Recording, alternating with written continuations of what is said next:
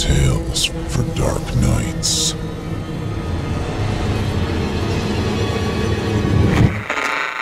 Want to make sure you never miss a Chilling Tales for Dark Nights video again? Be sure to subscribe and hit that bell to turn on notifications. The following program is a production of Chilling Entertainment and the creative team at Chilling Tales for Dark Nights, and a proud member of the Simply Scary Podcast Network. Visit simplyscarypodcast.com to learn more about this and our other weekly storytelling programs. And become a patron today to show your support and get instant access to our extensive archive of downloadable ad free tales of terror. Thank you for listening and enjoy the show.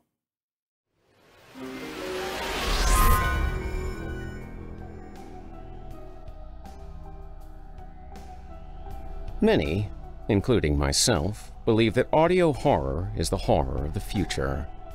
Hearing is one of the most advanced senses, coming after sight and smell by a decent chunk of evolutionary generations.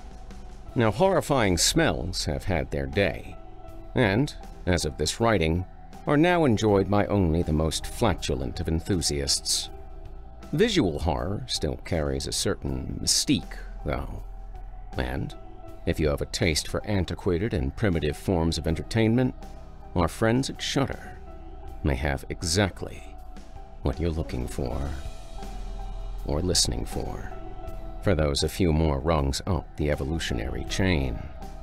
With Shudder, you can stream supernatural, thriller, and horror movies, as well as some curious short-form conveyance of episodic storytelling called shows.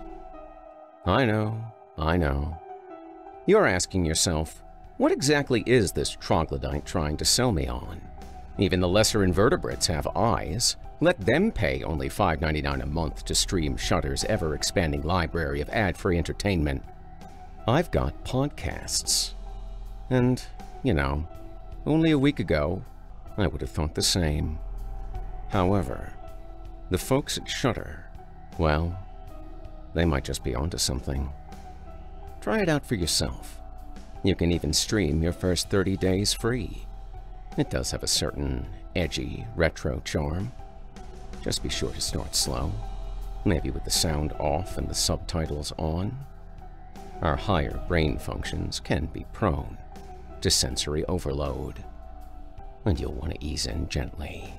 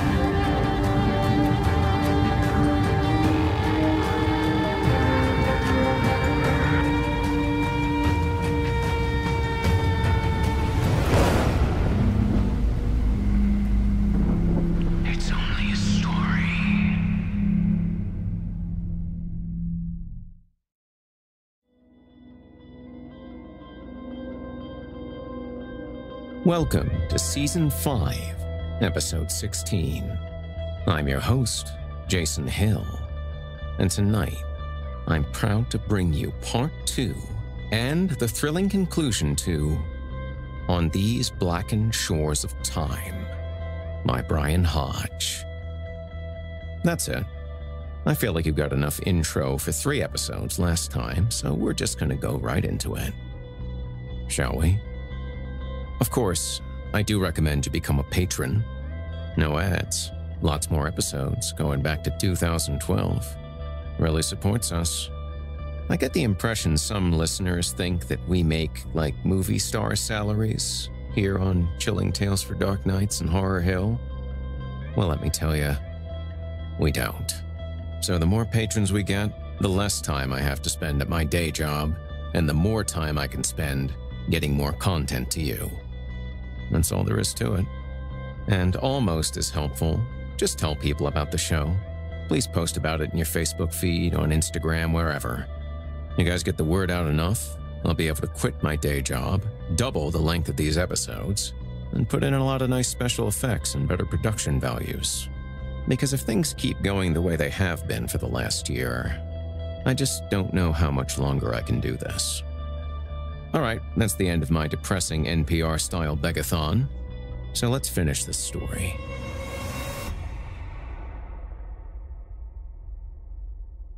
And now, without further ado, from author Brian Hodge, I give you part two and the conclusion to On These Blackened Shores of Time. It seemed unwise to leave a car untended for hours in a place we didn't belong. We covered the distance on foot, the summer heat building in that first quiet hour of daylight as we skirted the backsides of homes and neighborhoods that petered out against the hills. The Barnsley land was six acres of nothing much. Enough traces of outbuildings and fences remained to show that, decades ago, it might have passed as a small farm. Now, it was a run-down pocket of decay, a pustule of times past clinging to the land. The house, two stories and shabby, was in need of paint and new shingles, and matched the unsavory impression I'd gotten from Otto Barnsley's candid snapshot. And Ginny had come here alone. It bugged me that McNabb might not have been giving Alvin Barnsley as much credit as he should have, she told me along the way. His intention all along was getting back into the mine. That much seems obvious. I started wondering if he didn't know something more than he should have. He either knew of another way in already, or thought he could find it. The notion had crossed my mind even before Drew's car had been recovered. Another way in. It's the kind of thing you pray for. And the answer is always no. I'd still asked, and DeSalvo had double checked her department's archives. When she said there was no such route, I believed her. Because the alternative, that a back way existed, but no one knew where to find it anymore, was too terrible to live with. Maybe it had taken someone like Ginny disregard the experts. Sometimes mines link up with cave systems or older mines, or something happens to connect one thing with another, she said. Do you remember hearing about the Knox mine disaster growing up? The name was familiar but had no details attached. It happened around here, too. 1959. The Susquehanna broke through into one mine gallery and flooded God knows how many others between Port Griffith and Exeter. They were digging where they shouldn't have, so yeah, things link up, even when they're not supposed to. To our left, from where we stood on this derelict homestead, paid for with blood and starvation, the hills rose and rolled away, green, thick with trees festooned with the last tatters of morning mist. The water that washed out that shaft underneath our street had to come from somewhere. It didn't come from our storm drains. Whatever's upstream of there, it has to extend a long way. Ginny pointed into the hazy hills. It may not start here, but it runs through here. She said this like there was no question about it. She just knew. Maybe not yesterday, but today, after whatever she'd done in this house last night, she knew. I've seen the map. You didn't think about going through official channels on this? She looked at me as if, for the moment, she was forced to suffer a fool. Every husband knows that look. Channels are what got the sinkhole filled in inside of a week. Channels are what left those miners down there to die. Channels would be less concerned with what I found and more with how I found it. So, fuck channels. Because I'm here for Drew and Katie. I followed her across the sagging boards of a creaking porch inside. The house put me in mind of Wesley McNabb's office, but that was one room. Here, it consumed everything and must have taken lifetimes. A single obsession passed down through generations. The walls were hung with maps. One appeared so archaic a museum might have valued it at a small fortune, but it detailed no geography I could recognize, its text and no alphabet I knew. The newest, Global, bristled with pushpins, one at our location and three dozen more across every continent from west to east, from Antarctica to Siberia. Others showed Earth's land masses in different stages of continental drift. Pangea, then Gondwanaland in Laurasia, and onward. The later ones appended with a vast island in the South Pacific that had no existing correlate. R'lyeh, some ornate hand had labeled it. Photos? Those too, spanning decades of excavations and expeditions in deserts and jungles, forests and mountains. A man with slicked back hair and a machete stood over a litter of ferns beside an idol that might have been worshipped by maritime pagans. A sepia toned team stood atop a jumble of stone blocks, utterly dwarfed by them, in the cleft of a remote alpine valley. Books? God, yes. Innumerable volumes on archaeology, geology, anthropology, astronomy, biology, metallurgy, advanced geometry, and mathematics. An entire shelf was devoted to human anatomy, including textbooks on autopsies. Another was themed around ritual magic, supplemented by notebooks and legal pads beyond counting. I could think of bureau profilers who would have loved to spend a month combing through everything. And all this was just along the path to where Ginny had secured Otto Barnsley hours earlier. His right wrist lashed to his left ankle with a zip tie cuff.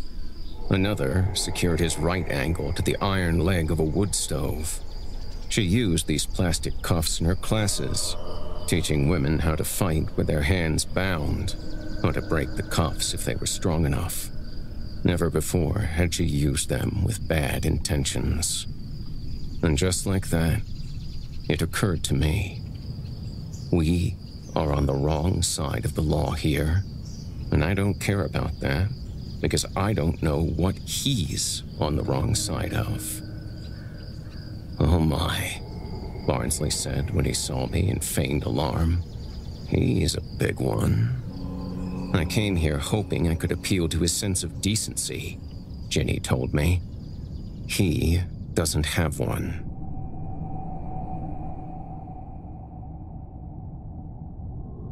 Otto Barnsley peered up at us as if studying curiosities.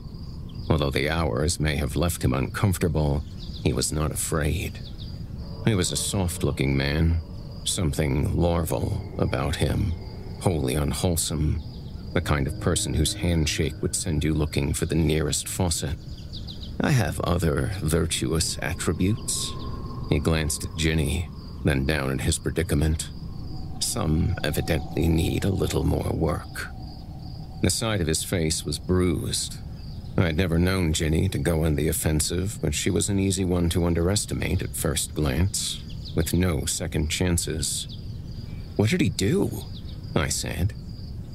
What did he try? I handled it. She laid a steadying grip on my arm. Keep your set point. What we're here for. We locked eyes and she didn't let go until I calmed my breathing again. She was right. I wasn't ready to know what this man had thought he could get away with. Not yet. Details gave you reasons to snap. Instead, I focused on this. Otto Barnsley didn't seem the type who ventured out to gawk at tragedies. He had to have been engrossed in the sinkhole itself, enough to show up every day with a vested interest in what the crews might discover. I suspected he'd gone home relieved. The map's over here, Ginny said, and retreated to the nearest dingy corner. She'd removed it from its frame and spread it across a tabletop. Yellowed paper the size of a poster, lined with a faint grid, and filled in with what looked like ink over initial tracings of pencil. It was creased with enough folds to reduce to pocket size, but felt as if it had been a long time since it had been anything other than flat under glass. It showed an entrance in a meandering channel that periodically branched off to other passages or ballooned into chambers. Near the south, it doglegged down into a link up with Tecumseh number 24, overlaid shadings depicting the various galleries of the mine's third and fourth levels. This point of connection between the mine and the rest was the real anomaly. There weren't many straight lines on the map, but here, where the passages linked to the mine, was a square. I wasn't sure what the map scale was or if it was even accurate. But in context, this feature appeared to have the foundational dimensions of a house. They'd hit a wall, McNabb had told me. Nothing natural, but constructed. I tapped the map. What is this square? Barnsley grinned, mocking. What indeed? Ginny touched my arm. If he decides to tell you anything more than he told me, fill me in. I need to round up some things for us on the back porch. She folded the map and took it with her. Barnsley watched it go as if this was the first thing to cause him distress. I caught it in that split second he tensed and squinched his eyes, a form of what's called eye blocking. My grandfather thought his fortune was going to come from artifacts, Barnsley said. In time, he realized it was in knowledge instead. Knowledge being the true pearl of great price. But that structure down there was one thing he never understood.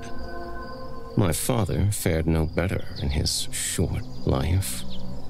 It was a discovery ahead of its time.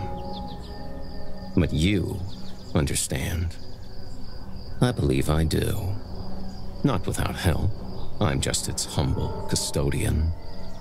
There are people and organizations who've been studying the Eclipted Mystery since long before Alvin Barnsley came north to steal a man's job and found a new path in life.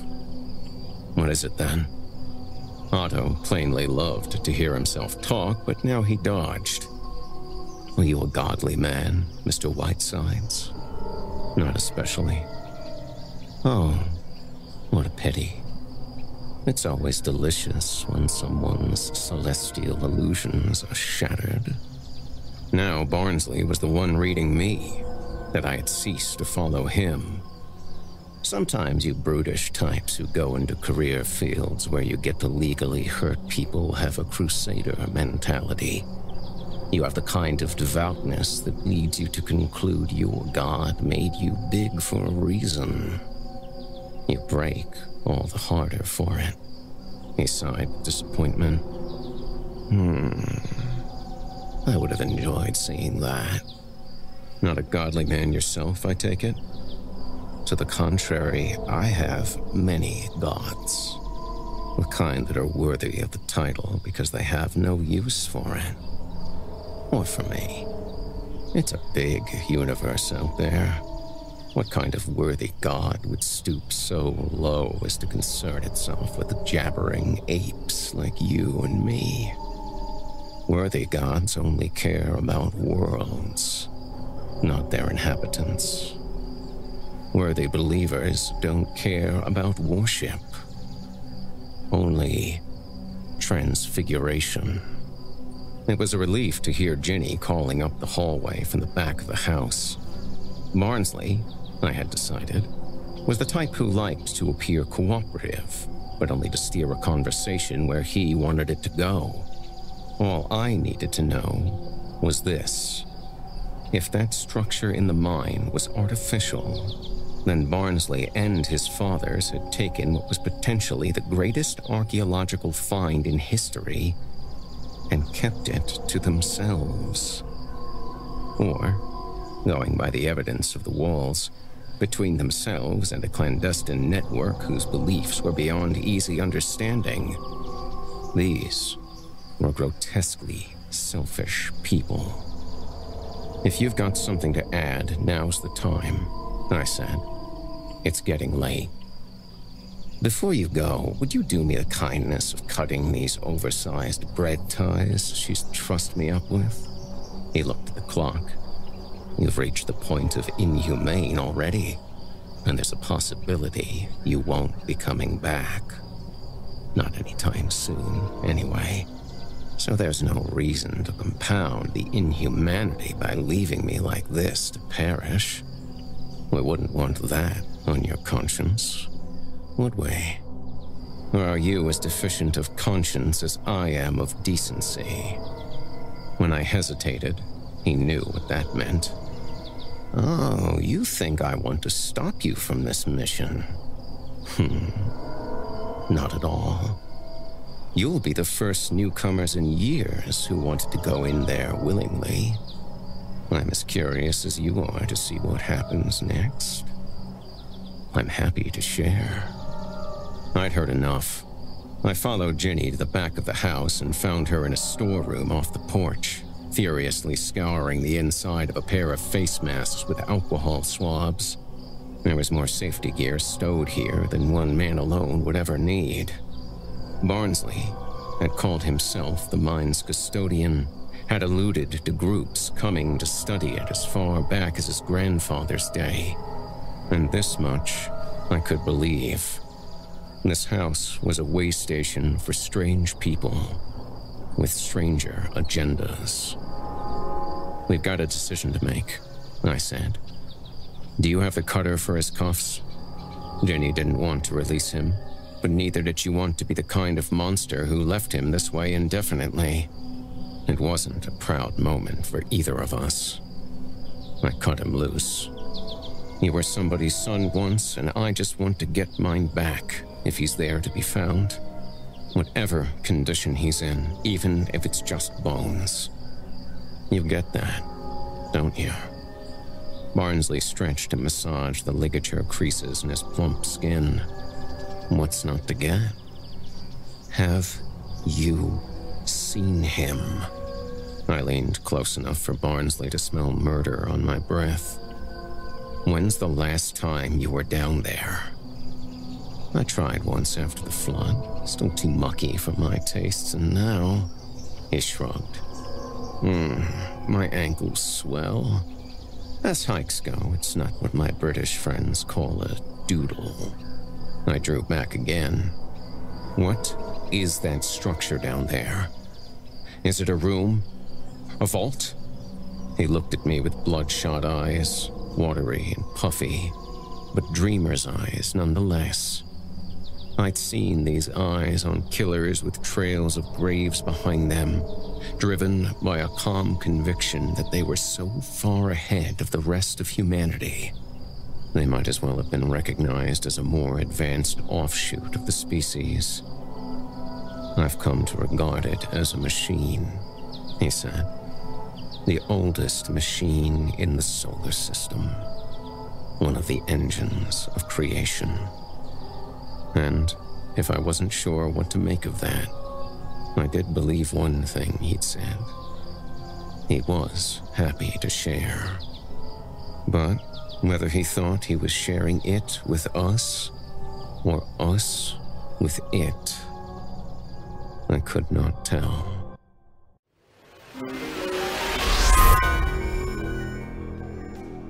Earlier, we were discussing certain lesser evolved forms of sensory stimulation. And I gotta say, this Shudder service, it's decent. Decent as all get out for entertainment primarily consumed through the primitive visual cortex. Don't get me wrong, I'm an ear man through and through. Always have been. I had a few friends in college who were exclusive eye guys, always going on about the size of their rods and cones, judging others on trochlear tightness, or if their occipital lobe stays perky, even when not wearing a skull. rather than on the content of their character. I always just assumed they were uncultured brutes. Now, I'm starting to get the appeal. I mean, you just gotta see this library for yourself. From new original movies like VHS 94 and The Boy Behind the Door or Psycho Goreman, personal favorite of mine, to classics like Creepshow or Herzog's Nosferatu, or dig a little deeper to the really classic classics, like The Cabinet of Dr. Caligari or Murnau's Nosferatu.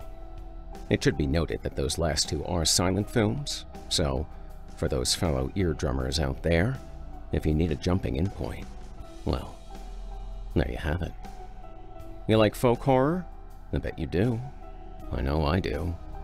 Then may I recommend the visual documentary Woodlands Dark and Days Bewitched? It is the ultimate history of folk horror. It'll be like you're hearing folk horror for the first time, only you'll be hearing it with your eyes. And ears. There's also sound in that one, unless you turn the sound off and turn the subtitles on. Moving on. That's right, folks. You heard it here first. Shudder looks almost as good as I sound. I like Shudder. Nay, I love it. And if you're a fan of supernatural, thriller, and all things horror, you're going to love Shudder as much as I do. And right now, you can stream your first 30 days of Shudder for free. Go to shudder.com and use code HORRORHILL. That's S H U D D E R dot com, code HORRORHILL, all one word, to stream your first 30 days of Shudder for free. Shudder.com, code HORRORHILL. Thank you for your support of this program and of the sponsors that make it possible.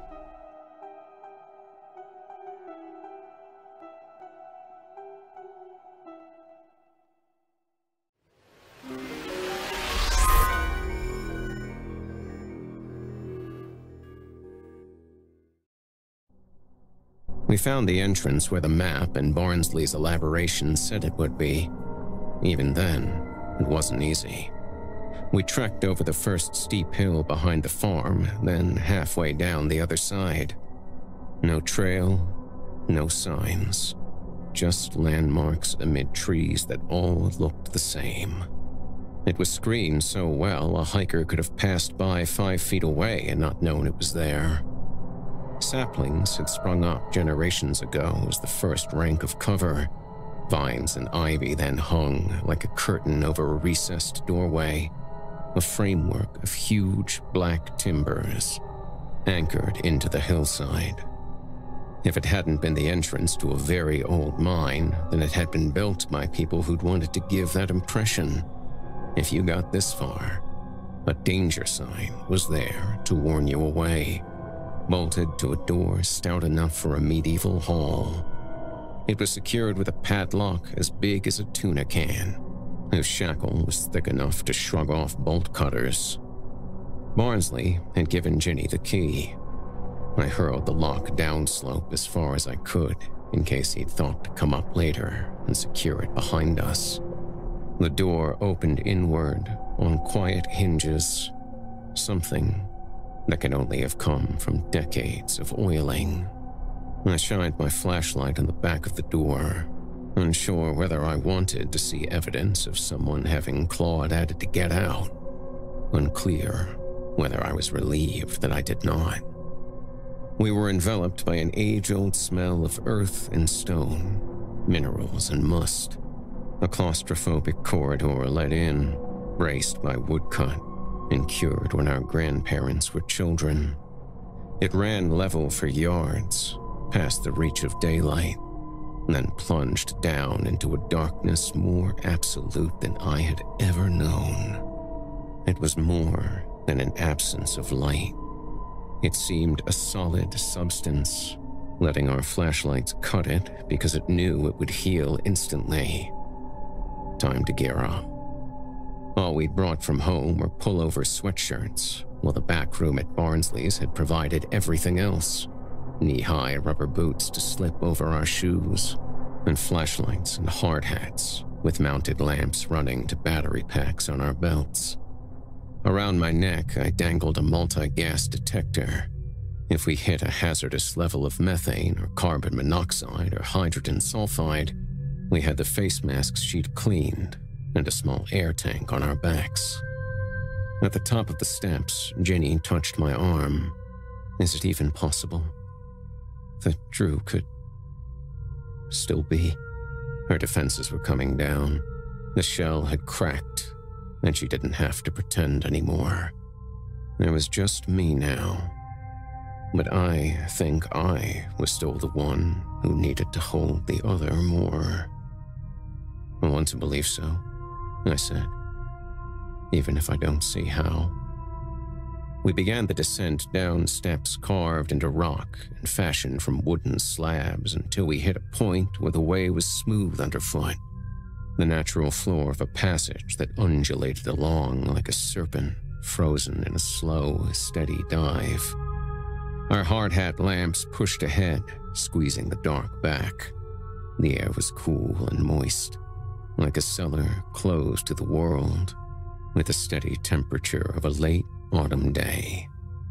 The walls were grim and unfinished looking, nothing like the weathered stone on the surface known to the sun and moon. Do you hear that? Ginny stopped and said at one point. Do you feel it? I had to follow her lead, but yes, I did.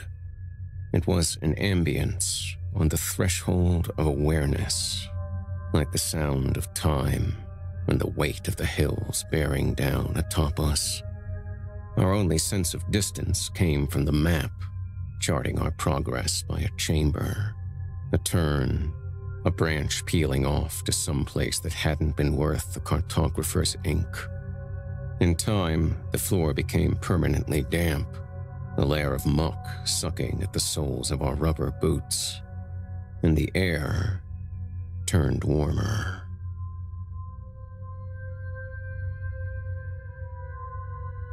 Hundreds of yards later, we were funneled to a cleft in the rock, an ancient fracture whose walls were just far enough apart to let us scoot through sideways. Along the way, we passed spots that left me wondering what was natural and what might have been worked. But by the end of this claustrophobic passage, there was no doubt it had been widened, with scars in the rock and matching chunks of rubble on the floor. As we emerged from the passage, an expanded sense of space swallowed our voices, and our headlamps turned feeble, without the closeness of the walls to contain them. We switched on our flashlights too, and it became clear we'd emerged into Tecumseh number 24's northernmost gallery, glints and glimmers reflecting from the unmined anthracite, as if the darkness had turned glossy but to our left. Despite our reason for being here, the only thing that mattered, we could only stop and stare. Here was the very definition of out of place and time. We swept our flashlight beams up and down it, and from side to side. Miners kept their ceilings from collapsing by leaving pillars of coal in key locations. But that did not explain this. It was too big, too square, and it wasn't coal. This was something else entirely, fashioned from harder stone 30 feet on each side and painstakingly chipped free of whatever coal had once entombed it. Its walls were flat on the smooth side of rough, except in three equidistant places where the entire structure was circled by bands of bas relief carvings, pictographs or hieroglyphs or ideograms that didn't connect with anything I knew or ever wanted to. Some of them might have been text, some might have depicted life forms only from fossils, things that scuttled, swam, and flew, chiseled with a stylized sense of aesthetics I couldn't begin to grasp. It looked to stand at least 20 feet tall, jutting through the low ceiling into the level above, but this was only the visible part. It didn't appear that our own level ground was its base. Where its sides met the floor, it looked as if someone had made an attempt to excavate further down. And the trenches they'd left behind were now filled with slurry carried by floodwaters of two years ago. Ginny traced her finger down one corner edge. It's not perfectly straight up and down. You see how it slopes in toward the top? She was right. It wasn't a pyramid, though. More like an enormous pylon. No seams either, she said. This wasn't fitted together. It's all one piece. Barnsley called it a machine, though. An engine of creation, he called it. Do you believe him? I don't know yet. But consider the implications of how far down we were. Consider what this monolith was anchored in. Whatever its purpose, coal had formed around it, meaning it had stood in the swampy forests of a primeval world watching over the growth and death and decay of vegetation by the ton until it was buried. Millions of years. Tens of millions. Snippets of old science classes came floating back. The Carboniferous period. I remembered that. And that the latter half was called the Pennsylvania period. Just the sort of thing local science teachers enjoyed relating. An incomprehensible 300 million years ago.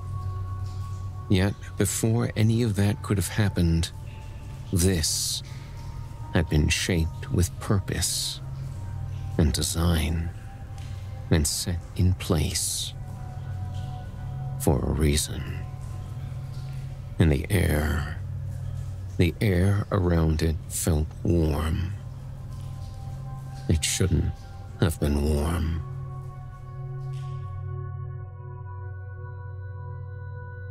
Trevor, Ginny whispered. That's what you did in the presence of such a thing. Whatever this is, it's not going anywhere. Let's get moving. We'll have time to wrap our heads around this later. Farther into the mine, freestanding water had pooled. The last remainder of the flood that had washed our lives from underneath us. A few inches deep at first, until we were wading in chilly black water that swirled near the top of our knee high boots. Pale things slipped and slithered through it, away from us worm like creatures that wriggled in the flashlight beam and then submerged, as if to escape the glare. Okay, okay, maybe they'd washed down here from a cave system, a place where they'd always been. Even so, the more we saw of the mine, its galleries and corridors, the less any of it was what we'd expected. The water's surface was strewn with patches and swirls of lavender pond scum, algae that had learned to feed on something other than daylight. The rocky walls were slined with growth. Gray fungus clung to the stone and coal, and climbed frameworks of century old timbers that helped secure the ceiling. This wasn't a defunct mine anymore. It was becoming an ecosystem, hundreds of feet from the reach of the sun. In the main tunnel, I stepped on something that shifted beneath my boot, then gave with a crunch.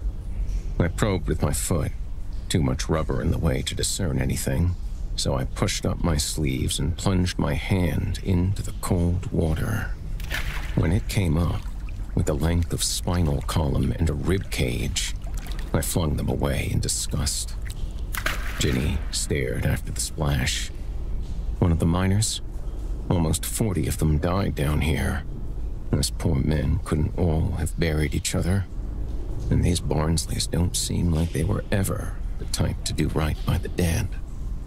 It was obvious that she hadn't seen the bones as well as I had. In that glimpse I caught in the headlamp, they didn't seem right. There was something malformed about them. The spine was overly long and twisted, as if from scoliosis. The ribcage had seemed wider, flatter.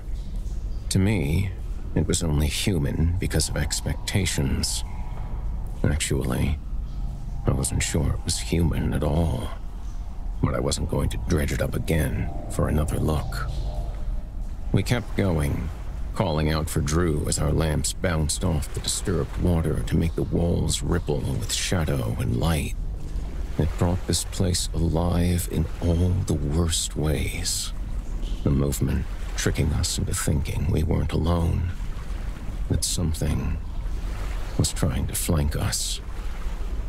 We cleared one gallery, then another. Not hard here, where the water came to our knees. However, Drew had gotten in from the slope shaft.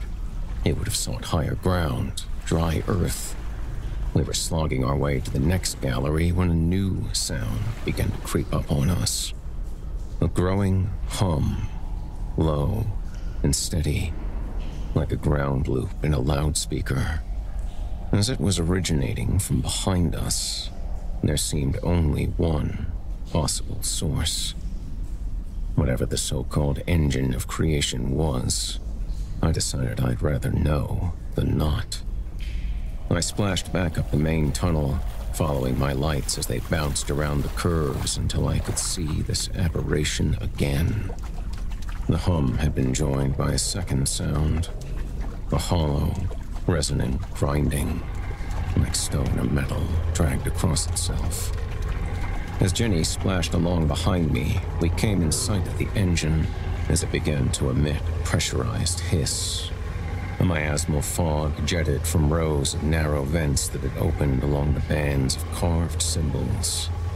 It drifted along the roofline, then began to disperse and descend. It may have been no more than water vapor, but this was nowhere from misplaced trust. Masks, I said, and Ginny was already ahead of me. We opened the valves of our air canisters, then backed away from the cloud and resumed the slog ahead. At our backs, the warming air felt thickened, soupy. The multi gas detector around my neck didn't make a peep. A relief and the truth was, whatever the engine was generating, we'd probably been breathing some degree of residue this whole time. Because this event couldn't have been a one off. Undoubtedly, the structure had been doing this for a long, long time. Maybe it had reactivated during the flood. Maybe it had been running for decades, triggered by the miner's discovery event. Or maybe it never stopped and it continued to operate in its tomb of coal, venting fumes through minute cracks all the way to the surface and bubbling through the groundwater. It outgassed for three or four minutes before falling silent again. Only then did I think to activate the timer function on my watch. Depending on how much longer we were here, I could see if it was random or had a pattern. Further south, we found a shoreline along the stagnant black lake, where the next gallery led up to dry ground. In its farthest recesses, our lights swept across a row of heaped debris. When we saw what looked like filthy rags, we glanced at each other, and through our masks, I saw that Ginny's eyes looked as stricken as I felt. The air, I imagined, was vile here what lay before us was mostly bones, many of them all long past stinking. But there were bodies too, putrid, with advanced decay. The bones were caked with mud and wrapped with rotten vegetation, the fibrous debris that gets swept along with floodwaters. Their arrangement was too orderly to be anything but deliberate. Someone had pulled these jumbled skeletons from the water, piece by piece, after the chaos had calmed. The kind of thing a survivor would do. As for the bodies, I counted eight, but these were newer casualties.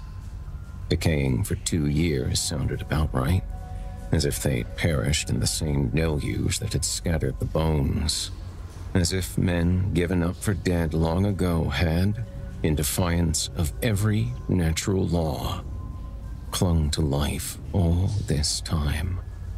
I just couldn't tell what their corpses were supposed to be. Not anymore. No, Ginny said. Only that and nothing else. No, no, no. If someone, Otto Barnsley maybe, had assured me they'd been men once, miners all, I would have said okay. I can see that. But then what? What happened to them? What happened to their skulls? To flatten the cranial domes? Why did their jaws seem to jut, uppers and lowers alike? Why did their teeth look like ivory pegs now. And why had their limbs shortened? What made their rib cages look squashed in, flattened out, as if no longer meant for people who walked, but instead for things that crawled? Never in my life would I have thought that for men abandoned by the world, starving and dehydrating in the dark, would have been the merciful thing. I took Ginny's hand so we could finish what we'd started. And when we spotted him in the next gallery, even from a distance of many yards away, I knew it had to be Drew. Because the heap along one rough wall was so much smaller. Just one person, lost in perpetual darkness, swathed in dirty clothes I never thought I would see again. How he had loved that blue flannel shirt. My boy. Oh, my beautiful boy. Ginny ran to him, the way only a mother would, stripping the mask from her face and letting it dangle by the tube to bang against her legs. Her helmet clattered across the ground, the beam of light cartwheeling as she dropped beside him to touch him, hold him, as only a mother could. I took my mask off too. Where you go, I go. But as a father, God forgive me, I was slower. Because I was terrified of what I would find. Then, appalled by what was there. Drew was beyond pale, with pallor of skin no longer meant for a world with the sun. Our lights caused him pain, made him flinch and recoil. But even that movement looked clumsy. What happened inside when bones softened, when sinews relaxed? This. This happened. This puddled bag of reconstituting skin and bones that struggled to sit upright. I recognized the voices beside him weeping and trying to soothe him, but he had trouble saying anything in return. We're here, we told him. We're here. It croaked and sobbed and made sounds unlike anything I'd ever heard from a person. And where was the grin I remembered? That smile that could brighten rooms? Gone along with most of his teeth and half of his once shaggy hair. I dropped at his other side so that Ginny and I looked at each other across him, the way we would when he was bedridden and tiny. Chicken pox, mumps, fevers, and colds. He always got better. We'd always feared he wouldn't. No reason, it's just the way you worry when they're little. You never quite lose that fear. Even after they've grown so robust, they seem immortal. And for all I knew, that's what he was now. The corpses next door were proof of that. Barring calamity, he might live for ages. Just no longer in a form I would recognize as anything that had come from me. He wouldn't want this. He couldn't want this. We couldn't leave him to it. Not our Drew, and not Katie either, because a part of her would always be caught down here with him. In the timeless black. Ginny touched him so much more readily than I could. She stroked his cheeks until he could open his eyes. She put her face close to him so he would know how much she loved him. She found the kind of smile I would have thought she'd left above. She wiped away both their tears, making mud of the grime on their cheeks. She touched her lips to his clammy forehead and held his hand so gently because it seemed as if one good squeeze might crush its bones. I'd never known such shame because it was all I could do to rest my hand on his sinking chest, feeling its shallow, panting breaths, fighting the sort of disgust that strains the very fabric of a love you thought was inviolable. And she knew. Ginny knew. She knew everything that mattered right then. Why don't you go? She said after a while. Back out to the tunnel. You should go. When I protested, a whisper, I don't want you here for this. For a few more moments, I curled on the floor beside him, shaking, and so did she. I kept my eyes shut. It was purely presence then. The ineffable spirit of someone you love that you could never mistake for someone else.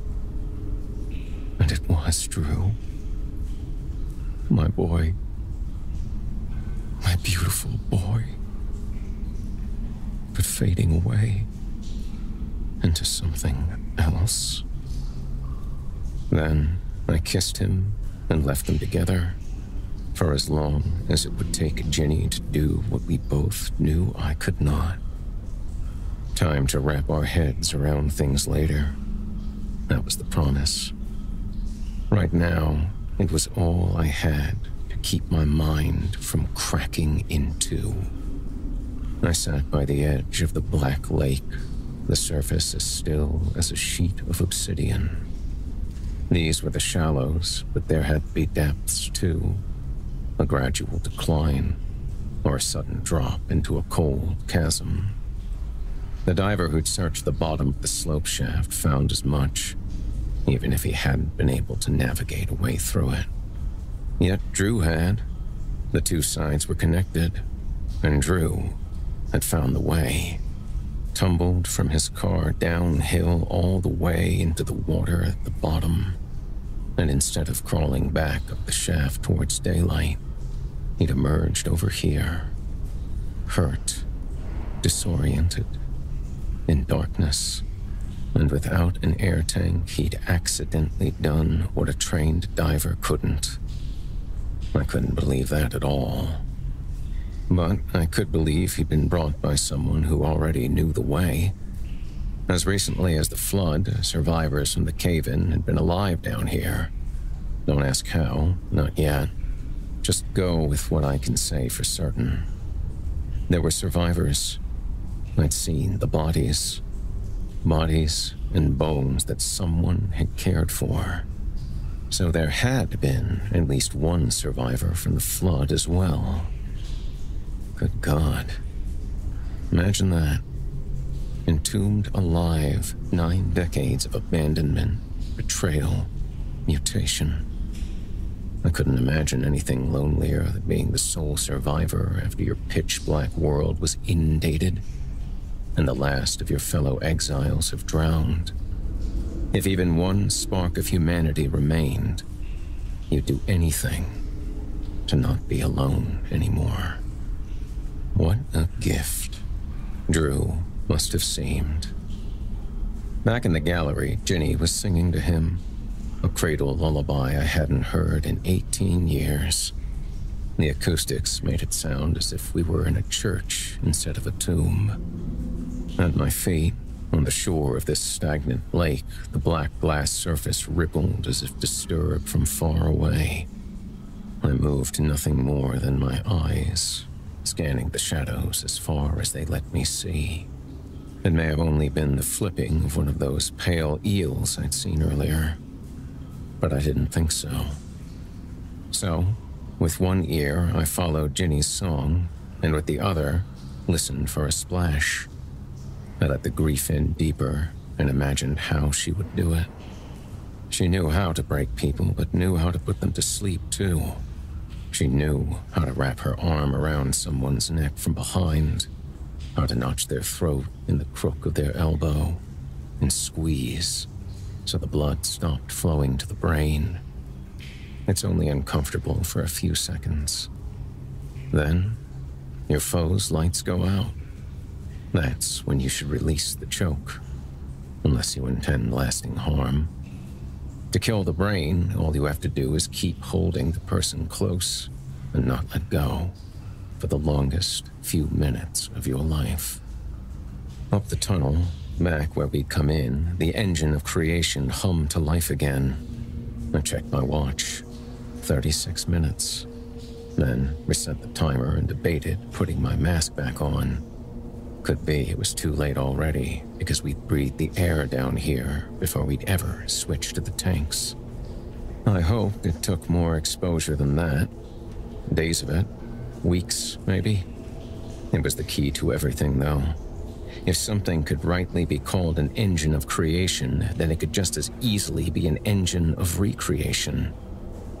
Terraforming. That was the word that came to mind. Paving the way for life as something altogether other knew it.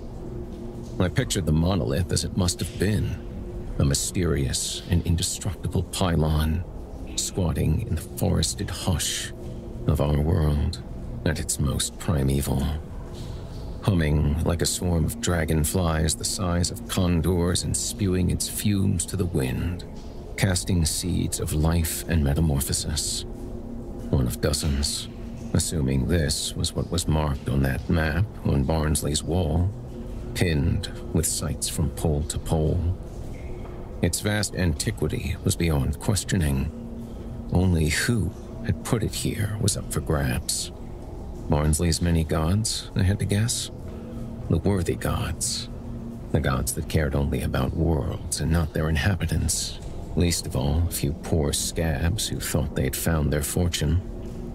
Near my boots, the water line rippled again, as somewhere out in the darkness, drips and drops plinked to the surface. Down the tunnel, I glimpsed a pale shape, like the inverse of a shadow, rising from the water, then descending again. I wished I'd worn my old sidearm, but there were rocks.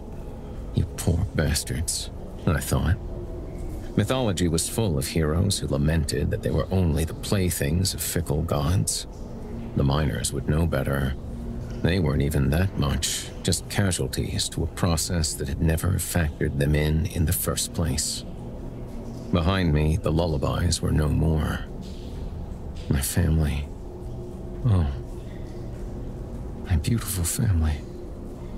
Still, I wondered if those miners hadn't battled like heroes just the same.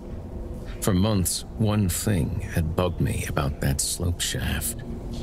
The only apparent opening was the one Drew had been diverted into. The rescuers hadn't found any sign of a corresponding opening on the other side of the vertical, but nobody could afford to worry about that at the time. So, what if it had never been a long forgotten shaft sunk from the surface at all? Suppose it had been dug from below by something trying to get out. Whatever the miners were becoming, and scabs or not, some may yet have known how to excavate a tunnel that wouldn't collapse on them. They'd only misjudged and run into the blockage that Tecumseh had dumped down the main shaft. Maybe by then, they'd realized they didn't have time to try again. Christ. How had they lived even that long? Water could have been seeping in even then, and for a time they might have fed on their dead. Beyond that, I didn't want to know. The engine of creation had made them its own soon enough. One thing was certain. By the time Alvin Barnsley had found his way back in, his comrades were no longer fit for the topside world. Otherwise, they would have left. I knew it was done when Ginny sobbed. A sound ripped from an imploding core, and something in me broke too. We had no son anymore. Katie had no brother.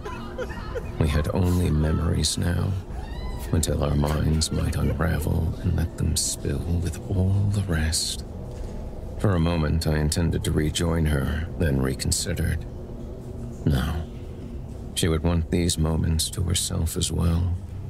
This I knew. Sometimes, it felt like I knew her so well I had no idea who she actually was anymore. As for whatever had been watching from the deepest darkness of the mine, and must have fled when it heard us coming, it understood what had just happened as well as any of us. It must have been waiting for this moment to approach. At first, it was merely ripples coming toward me, a V shape gliding through the water, the vague suggestion of something's back. Then, it hit the shallows and struggled to find its feet again. I caressed the rock in my hand. And if one good thing could come of such a terrible moment, it was that I could feel peace over what we'd spared our son. In it, you could still see the man it had been, even if it was a man reshaped by the archaic reptilian forms lost to a world 300 million years gone. The connection wasn't in its eyes, though. It had none, only vestigial bumps where they'd been. It found me by sound alone. It wasn't in the shape of the face either, with the flattened crown of its skull and the wide, jutting jaw brimming with peg teeth. It wasn't in the grotesquely lengthened torso, or the stumpy limbs, or the skin so pale it looked blue against the black. And it certainly wasn't in the thick, tapering tail it was trying to hide. No. It was in the pride it took in trying to stand. There was the man, in his pride and the way he carried the ancient miner's pick in the clawed appendage that had been his hand. I let my rock drop to the floor. Even across 300 million years of speciation in a creature I had never seen, I knew his body language. I knew exactly what he was begging for. He offered me the pick, then plopped to the ground on all fours, half out of the water and half in, where he looked so much more at home. And with his head at my feet, he waited. I should have hated him for what he'd done to us. I should have condemned him to a life of renewed solitude. But I couldn't. He'd only wanted what we all want. Wretched as he was, he had only wanted to not feel so alone. In my hand, the pick's handle felt rough and rotten sloughing off splinters. The iron end curved into spikes like a rusty crescent moon. I squeezed it until my knuckles went as pale as he was, then hoisted the tool over my head. I could think of nothing crueler in the cosmos than gods that cared only about worlds. It took an inhabitant to care about mercy.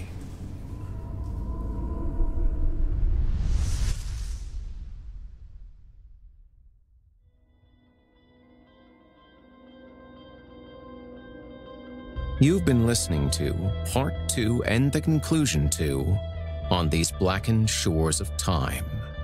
by Brian Hodge. For part one of this story, please go to last week's episode, Horror Hill Season 5, Episode 15. On These Blackened Shores was written by and brought to you courtesy of Brian Hodge. Brian, called a writer of spectacularly unflinching gifts by no less than Peter Straub, is the award winning author of 10 novels of horror and crime noir. He's also written over 100 short stories, novelettes, and novellas, and four full length collections. His most recent collection, 2011's Picking the Bones, became the first of his books to be honored with a Publisher's Weekly starred review. His first collection, The Convulsion Factory, was ranked by critic Stanley Wiater among the 113 best books of modern horror. He lives in Colorado, where more of everything is in the works. He also dabbles in music, sound design, and photography. Loves everything about organic gardening, except the thieving squirrels, and as a fellow Colorado resident, the squirrels here truly are assholes.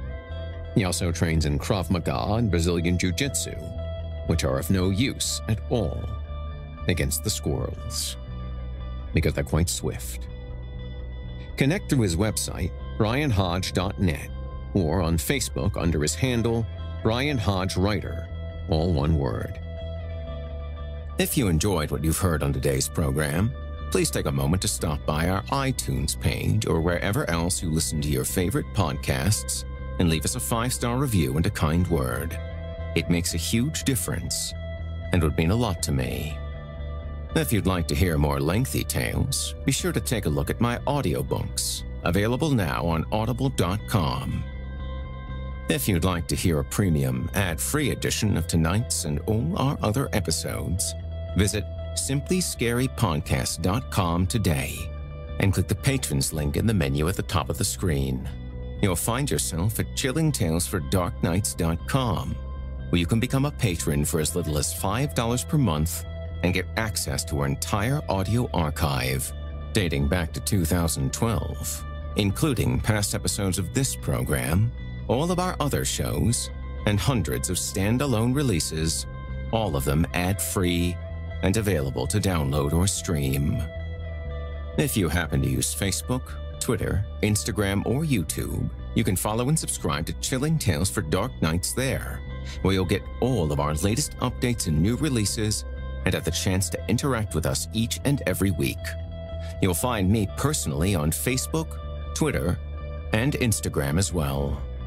Until next week, listener, when we meet up once again atop the horror hill for yet another dance with darkness. I bid you good night. Sleep tight, listener. And whatever you do, if you hear scratching at your door, don't open it. The darkness may have found you, but it's up to you to let it in.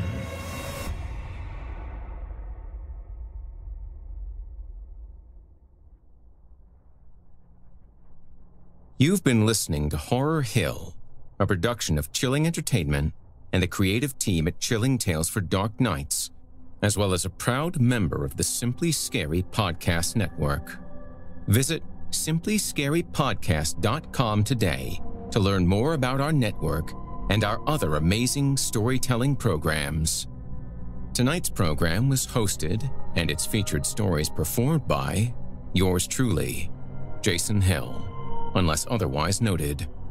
Selected stories have been adapted with the kind permission of their respective authors. Sound design, original music, and final mixing and mastering provided by Felipe Ojeda under the guidance of executive producer and director Craig Groshek. The program's logo was created by Craig Groshek, and this week's artwork provided by Omega Black, unless otherwise noted. Got a scary tale of your own that you'd like performed? I take submissions.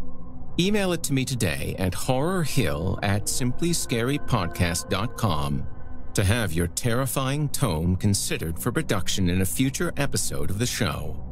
If you enjoyed what you've heard on tonight's program and are joining us on your favorite podcast app, subscribe to us to be sure you never miss an episode and leave us a five star review and a comment. Your feedback means a lot to me. You can also follow Chilling Tales for Dark Nights and Horror Hill on Facebook to connect anytime and get the latest updates. If you're listening on the Chilling Tales for Dark Nights YouTube channel, do us a favor and hit the subscribe button and the bell notification icon to get more spooky tales from me and the crew, and another episode of this program each and every week. And don't forget to hit that thumbs up button to tell us how we're doing, and leave a kind word or request. If you can never get enough spooky stories and can't wait until next week for more, and haven't already, be sure to check out Chilling Tales for Dark Nights on YouTube for hundreds of free audio horror stories, including more performances from yours truly, and consider supporting us by becoming a patron at chillingtalesfordarknights.com. In addition to helping us out, you'll get exclusive access to our audio archive and ad-free downloads of all your favorite stories, including those you've heard on this program. As for me, I'll be back next week with more frightening fiction to haunt your dreams. Until next time, I'm Jason Hill, and you've been listening to the Horror Hill Podcast. Good evening, and sweet dreams.